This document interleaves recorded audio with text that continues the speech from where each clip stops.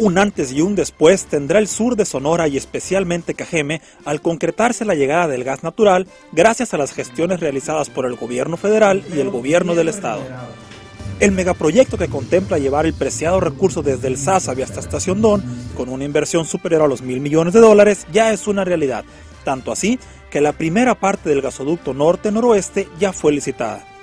La primera etapa consiste en un tramo de 530 kilómetros desde el Sázabe hasta Guaymas, y la empresa ganadora de la licitación fue la estadounidense Sempra Energy, con una propuesta de 569.4 millones de dólares.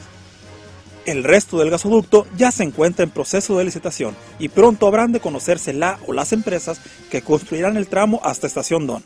Durante su informe a Sonora 2012, el gobernador Guillermo Padres se refirió a este proyecto como uno de los más grandes que se realizarán, no solo en la administración que encabeza, sino en muchas administraciones anteriores por el impulso que significa para el sur principalmente y también para las regiones centro y norte. Sin duda alguna, este es el futuro de Sonora gas natural para el sur del estado de Sonora hará que Sonora sea más fuerte. A esto le estamos apostando. Gas natural para el sur del estado de Sonora.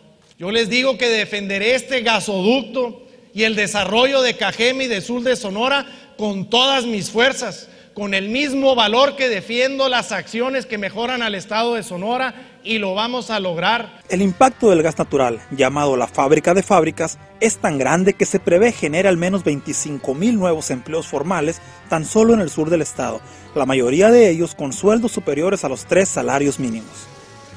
En Cajeme en específico, el gasoducto permitirá la creación de un parque industrial de alta tecnología aeroespacial.